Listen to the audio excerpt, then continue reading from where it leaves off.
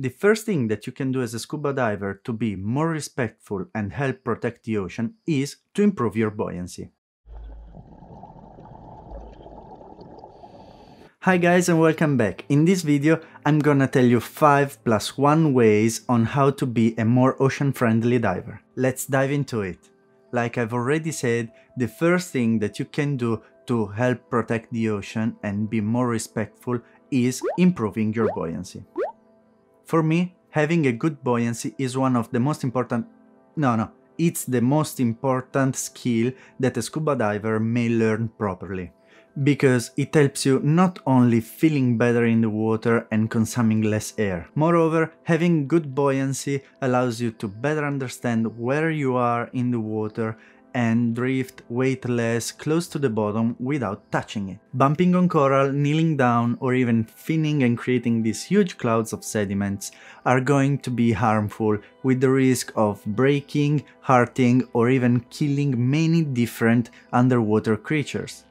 Think about coral that may need decades just to grow a few centimeters. And now tell me, how big the damage can be with only one fin kick on a coral formation? Okay, now try to multiply this damage for many fin kicks for many divers every day. Now you understand why improving your buoyancy skill is the first thing that you can do to be a more ocean friendly scuba diver. Let's move to the second. Dive with a mesh bag. Always more often it has become common to find all kind of rubbish underwater from plastic bags to fishing line and nets, and now, due to the pandemic, even single-use face masks. So it's always better to dive with some sort of bag to collect debris. I personally suggest a mesh bag instead of a normal bag because it has holes that let the water flows, keeping only the rubbish inside. Collecting debris is even better than picking up shells. At the end of the dive you will not have a nice souvenir but you will be proud because you have done something great for the ocean. Use organic defogging agents. Nowadays there are so many options as defogging agents and I can understand maybe you don't want to spit into the mask, even if for me it's still the best way possible to prevent it from fogging up. If you really want to use a defogger, at least choose an eco-friendly one, so you are not going to pollute the ocean every time you rinse the mask before a dive. Soap, shampoo and toothpaste are good, just make sure that they are biodegradable.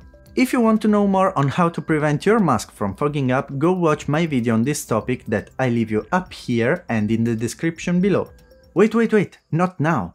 Make sure you go watch it after you finish watching this video. We reached the fourth way to be more ocean friendly, and it is avoid single-use plastic. As we all know, it's really important to remain hydrated before and after diving, drinking as much water as possible. Many diving centers and boats have drinkable water available from the tap or even from big dispensers. So please, bring with you a reusable water bottle and avoid the waste of single-use plastic bottles and cups. It's 2021, you have many choices between glass, aluminium or aluminum as you prefer to say, bamboo, vegetable-based plastic and so on. You have only to choose one and buy it. Nowadays, many training agencies, diving center and environmental organizations sell their own personalized reusable bottles. And many times they donate part of the incomes to project on ocean conservation. So you buy one and the sea benefits twice. Cool, right? Choose eco-friendly scuba gear. In the past, diving gear used to be made with petroleum derivatives. At present time, many scuba gear brands are developing new materials derived from minerals or natural ones like vegetable rubber and polymers or recycled ghost nets, plastic bottles, fabrics and even used tires. So next time you have to buy new scuba gear, spend a few minutes reading the product specs to make sure of what you're spending money for. Okay, now you know what are the 5 ways to be a more ocean friendly scuba diver. But before to wrap down this video, I'd like to give you a bonus tip that is don't use gloves.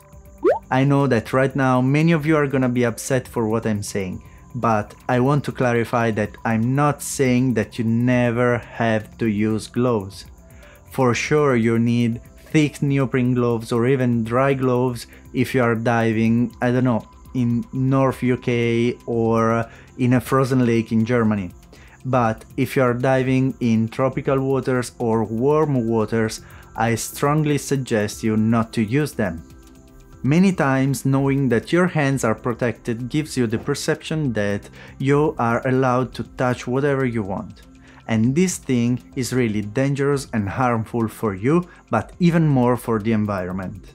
I really appreciate diving centers that discourage the use of gloves during the dives and educate people on a more aware touch. That's it for today, thank you for watching and see you in the next video. Peace!